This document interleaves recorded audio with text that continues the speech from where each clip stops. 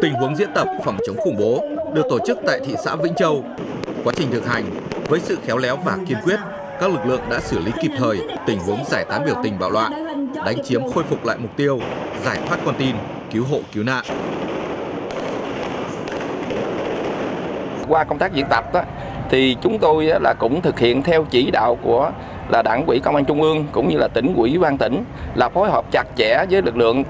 quân sự là biên phòng và các lực lượng khác để thực hiện tốt cái nhiệm vụ là nếu xảy ra tình huống là thực tế trong thực tế là có biểu tình bạo loạn thì phối hợp để là, là giải quyết tốt vừa làm công tác tuyên truyền vận động nhưng mà cũng là làm tốt công tác là đấu tranh chấn áp nếu tình huống là và là biểu tình bạo loạn trong thực tế xảy ra.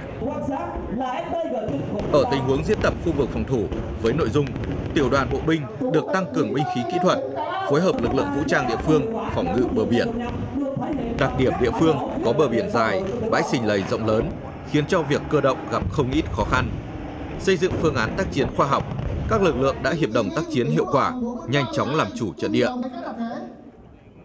Đây là một cái uh, diễn tập khu vực phòng thủ nó có ý nghĩa hết sức quan trọng nhằm giúp cho lực lượng vũ trang và các cái sở ngành uh, cấp tỉnh nhận thức sâu sắc về chuẩn bị thế trận và cái khu vực phòng thủ của tỉnh uh, đạt cái uh, uh, kết quả tốt. Cuộc diễn tập đã nâng cao năng lực vận hành cơ chế, trình độ hiệp đồng tác chiến của các sở, ban, ngành và lực lượng vũ trang tỉnh Sóc Trăng.